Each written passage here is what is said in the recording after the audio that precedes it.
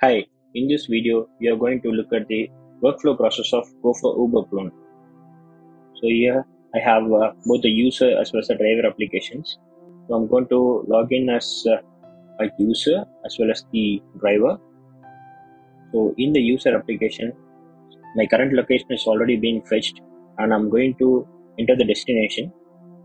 I'm entering my location. Once I click on go, here I have the list of car types available.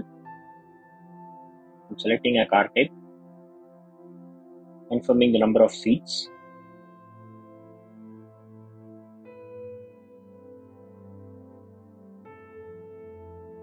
So the nearby driver is getting the request.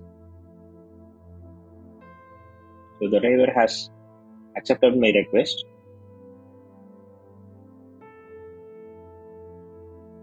So here I have message option so I can directly send instant messages to the driver. So I'm sending hi message to the driver. Through this you can communicate with the driver as well as the user. So driver has arrived to my location and he has confirmed the arrive. So once he begins the trip, so 2174 is the OTP and here we do have the emergency contact details which can be added. So I'm entering the OTP starting the trip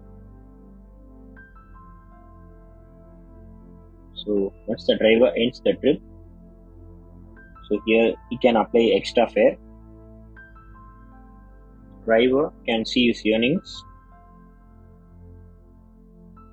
Likewise the user can see the cost breakdown and if he wish to add tips he can add it. So promo code options can also be added. So once the driver selects cash completed so cash collected so he can end the trip by providing the review. So thank you for watching this video